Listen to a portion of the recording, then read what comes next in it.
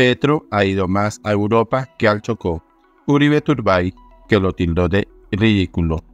El senador opositor se pronunció tras las declaraciones del presidente en la conferencia de seguridad de Múnich, Alemania, además de cuestionar sus viajes.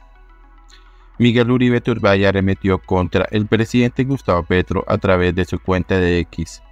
El congresista tildó de ridículo al mandatario nacional quien propuso un pacto democrático frente a la crisis climática en la Conferencia Mundial de Seguridad celebrada en Múnich, Alemania.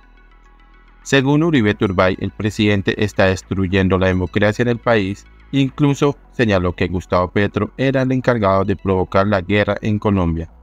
Del mismo modo cuestionó los viajes del mandatario, asegurando que había visitado más Europa que el departamento del Chocó. Petro es ridículo, reclama un pacto democrático mientras destruye la democracia colombiana, que separe la violencia en el mundo cuando él es quien la justifica y provoca en Colombia por cierto, Petro ha viajado más a Europa que al Chocó, dijo. ¿Qué dijo Petro en Múnich, Alemania?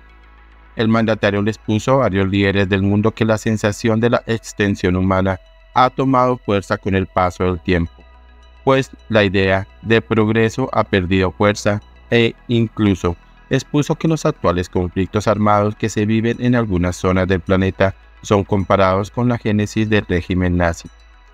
Lo de hoy es que estamos a punto de la extinción, es decir, todo lo contrario.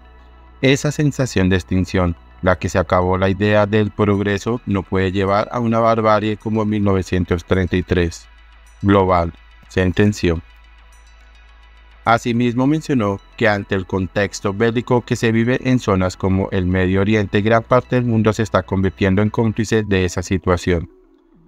Petro dijo, Estamos viendo un genocidio indirecto y no podemos hacer nada o somos cómplices con él.